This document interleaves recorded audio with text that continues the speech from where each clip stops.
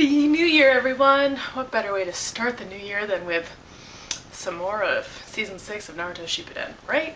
Now, in my previous video that I uploaded, a lot of people were kind of freaking out about the schedule, that I hadn't done it right, that I was missing the really good episodes for the watchings, and blah blah blah. And I was trying to redo the schedule or retweak it, make it make sense. But it always came down to me watching like eight episodes and then reviewing like three episodes. So it just it just didn't make any sense. So I've totally revised the entire Naruto season six Shippuden schedule, and I've just turned the entire thing into watchings. It's just gonna be um, quadruple features all the way, which I'm a little bit nervous about because I did the one quadruple feature once and um, it worked out okay, but I, I don't know how it's to be um, for all these episodes. So um, I'm to try doing that.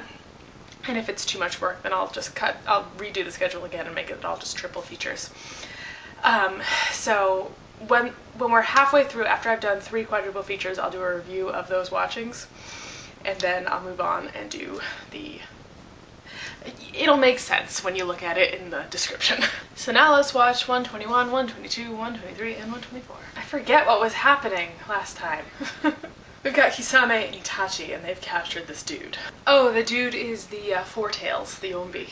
According to um, Kisame, if they seal the uh, order, as in like Naruto has to be last, then the like statue where they're sealing all of the Biju is going to uh, crumble. Therefore, Itachi, who is the one I believe who's charged with capturing Naruto, has decided, like, well, we should just go after Naruto last. It doesn't make sense to go after him now. And then the Akatsuki all have a meeting, and they're like, P.S. Orochimaru is dead. I think they just implied that Hidan and Kakuzu were still alive. I'm not sure about that, or if it was just like spiritually they're still alive. Tobi's totally joined the group now, and no one's happy about it because everyone hates Tobi. Once they find out that it was Sasuke who killed Orochimaru, everyone's like, that makes sense. they know that Sasuke's next target is obviously Itachi, and they know that uh, Suigetsu is after Kisame, so they're like, yeah, it's, it's pretty likely that they're gonna go after you guys as a pair. Meanwhile, back in Konoha, everyone's trying to figure out, like, what are we gonna do in order to get ahead of the Akatsuki? They also conclude that Sasuke is obviously gonna be after Itachi, and so they have to figure out where Itachi's next move is in order to figure out Sasuke's. Sasuke and the gang are looking for something. We're, we're not really sure what they're doing at this point. Sasuke's just leading the way and everyone's following him.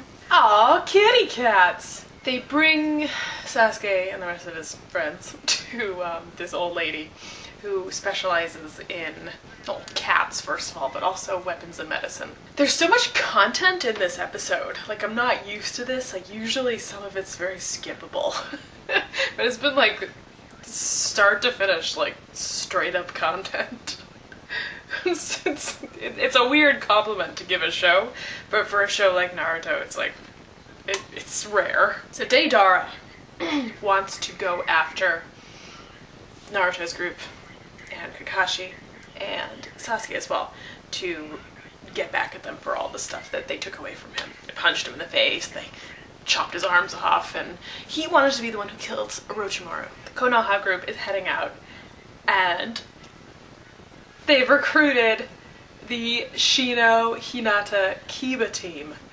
Long time no see with those guys. I, I don't think we I mean, we've seen them like just hang out, but we haven't seen them like on a mission. I think they're the only team that hasn't been on a mission yet. Yeah, I'm excited. I mean, the only team out of the original like kids who took the Chunin exam together. Yay! Still have three more episodes to go. I don't know if I can handle this. so the plan is to hop along until they find a landmark, and then they use that landmark to go search in every direction for five kilometers. And then if they don't find anything, or I guess if they do find anything, they come back and they get back together and figure it out. So they're splitting up. So Naruto, Hinata, the giant dog, and Yamato are part of a team. And um, Kiba's like, I'm my own team. I have my own dog. and then the, everyone else gets like a couple of dogs to go off alone, I guess. I guess I didn't pick up on this, but Deidara and Tobi are a pair now because Deidara's partner died and Tobi's new. So So um, they're they're going off to do whatever Deidara feels like it because he's senpai. Sasuke's group has split up to find information on the um, Akatsuki. And Kakuzu, not Kakuzu, Suigetsu has found in, uh, information on Kakuzu's bookie. And, um, what's his face? Uh, Jugo is, uh, like frolicking in the forest with some birds. That's not true. Sakura and Karin actually walk past each other in a village without knowing who the other is.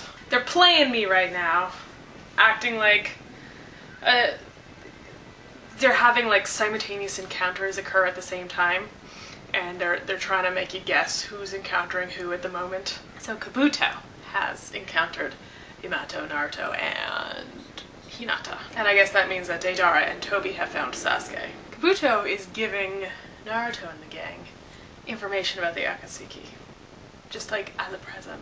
Kabuto's going off about how like he doesn't really know who he is or or what he's gonna do with his life now that Orochimaru is gone because you know he didn't really ever have an identity or an alliance or anything. So he's like, okay, I'm just a little bit lost, but thanks to Naruto, I feel like I know which way I'm going. Oh, okay. Um, Kabuto has done something to his face or his body or something. So he's like part Naruto, not Naruto, part Orochimaru. I guess he took part of Orochimaru's corpse and put it in his own body. Oh, Kabuto, that's weird.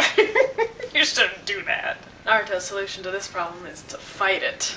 Well, they all start fighting him. They want to capture him, obviously. Kabuto's all like, first I'm gonna kill Sasuke, and then I'm gonna fight you. See ya! this is pointless. Bye! And that episode ends with the promise that Deidara and Sasuke are gonna go at it next. So the fight begins, and Deidara whips out his clay techniques, because he's got both of his arms back, if you remember. And Tobi is just like getting in the way. He's like the worst. he's annoying and stupid. And he's bad at this. Why did he get to join their group? And just so you know, there's a, a plow outside, so uh, that that's what will be serenading us for the rest of this episode, perhaps. We're definitely get to, getting to see a more uh, diverse range of Deidara's attacks. What is he able to do beyond create clay that just explodes? Now we can see this. In the end, they all just explode, but they can do various things. Are we finally gonna get to see Tobi actually do something productive? Sasuke goes curse seal. Um, in order to fight against Deidara because he his explosions are getting kind of tricky. And I guess this whole time Tobi's been burrowing around in the ground, um, planting mines. so it's, it's not even really Tobi doing something unless it's like he can do ground manipulation or element manipulation or whatever. Sasuke's feet have been injured, and then Deidara manages to blast off one of his wings. But then Sasuke manages to jump up, land on his sword, which he threw into the ground, and jump up into the air and slice off one of the wings on Deidara's flying dragon. Oh! and then he got impaled with giant ninja stars, pinning his arms to his side. He's gonna fall down all the mines Tobi just planted. Oh no! Deidara! This is all your fault! you have no one to blame but yourself. Oh, okay. Deidara did manage to escape. You know, for some reason I find myself really liking Deidara, and I don't want him to die. He keeps like defying the odds, and it's kind of cracking me up. oh no, Deidara's getting a flashback. That means he's totally gonna die. Sasori, Kisame, and Itachi come to Deidara when he's just like a terrorist and likes to create explosions and stuff, and they're like, you should join us. And of course, you know, Deidara chooses to attack Itachi. And um, that's when Itachi's like, nope. Turns out it's actually you who is being attacked by me. So that's when um, Deidara became kind of like amazed by Itachi and is like, wow, Itachi is the real art. And so now he's starting to see like the same eyes in Sasuke, and it's freaking him out because he's like, oh my god, maybe his art is better than mine! Now Deidara is using his most powerful explosive ever! he originally thought up this plan to defeat Itachi, but now he's like, alright, I'll, I'll defeat um, Sasuke first. oh, he just like created a giant explosive Deidara. okay. One more episode. Oh, this is so many episodes. I don't know if I can do this. Hang on a tick the giant Deidara just like was a balloon. Wait a second, was is it Genjutsu? Is that what it is? Ah! Okay, so the giant Deidara exploded and it leaves tiny, tiny invisible bombs inside of your body and it destroys your cells on the uh, cellular level. so we are led to believe that um, Sasuke is dead. But that illusion didn't last for very long because Sasuke is back with a Chidori through Deidara's chest. Ow! Okay, so Sasuke dying was Sasuke's Genjutsu. And he's like, ha ha ha, I saw through your trick the entire time with my Sharingan.